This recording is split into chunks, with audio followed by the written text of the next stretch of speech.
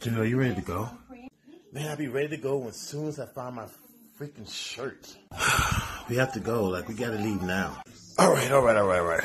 So I can get my hair done, then I gotta put my shirt on, then I'll be ready. But you know what? Fuck you.